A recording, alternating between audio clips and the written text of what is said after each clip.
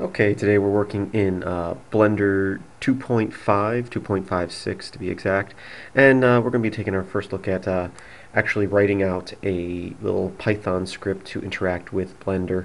Uh, in the last tutorial I showed you the little secret of pulling this down to get uh, your Python code and inputting that into a Python console, but this time we're actually going to write out a code uh, in the text editor that you can uh, manipulate and run at certain points. We're going to keep it very basic. It's only going to be like four lines of code. Uh, so let's start up a new project here. And I'm going to delete this default cube. I'm going to drag this down a little bit. You can see the command already for the cube I deleted. We'll hit spacebar and type in cube, hit enter, and here's our code for our cube. Let's right click that. Once again, ignore the little glitches where everything disappears. It will reappear once you click in those areas. We'll hover the cursor over this while it's highlighted in blue, and we'll hit Control C to copy it. We'll come back down this way, and we're kind of done with up there for now, so we'll move that back up. And we'll change this little window here to be a text editor. And I'll also delete this default cube, or the cube that we just added. I'm going to hit Control Up to make the text editor full screen and I'm going to say new and I'm going to hit control V to paste in the code we just copied from that little information bar.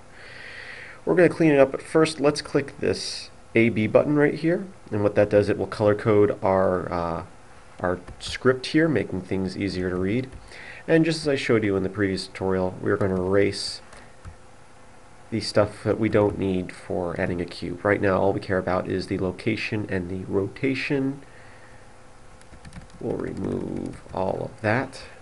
Okay.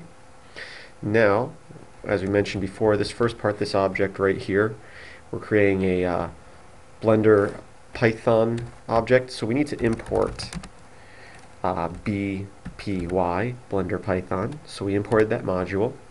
Now let's create a variable. We'll say x equals 1. And then we're going to create a while loop.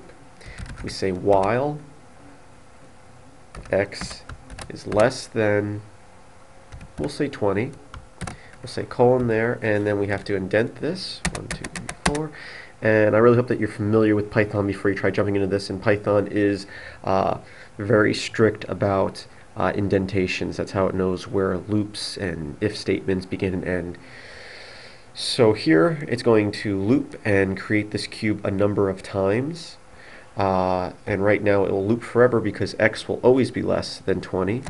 So let's make x plus equal 1. Uh, yeah, let's go 1 for now, see how that looks.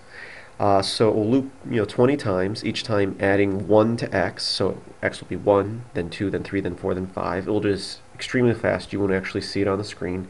And let's put x into um, the values of location and rotation of both the x location, which is left and right movement, and the rotation on x and on the x axis. So that's our whole code. Uh, so now let's hit Control and down arrow to make that not full screen anymore. And let's pull this out though so we can reach our little run button here and you can see in the text there you have a run script button. We'll click that and boom, look in our 3D view here. We just create a bunch of cubes that have been rotated. They're all individual objects that we can now grab and move. But you can see that they all moved one blender unit and each time they also rotated one blender unit. And uh, let's just select everything and delete everything here and look back at our code here. Once again, I'll hover over the uh, text editor here let me pull this back out a little bit more. And we'll hit up arrow. And, uh, you know, we can put X in other sections here so we can rotate it on the Z axis as well.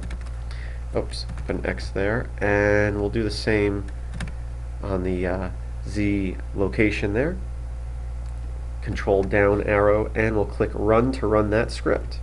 And boom, now not only is it moving over and rotating uh, head over heels, it's rotating, uh, moving upwards and rotating left and right or around. So once again, very simple look at uh, uh, Python. I'm taking it slow because I'm kind of learning it myself as we go along. Uh, but there's a simple little script to add multiple boxes and different locations and rotations just using a simple variable that we add to.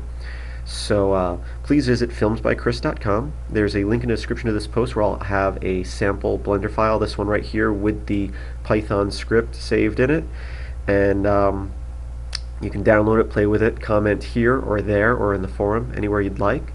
Chat with us on IRC, on Freenode. The channel is Films by Kris. It's Chris with a K. And I hope that you have a great day.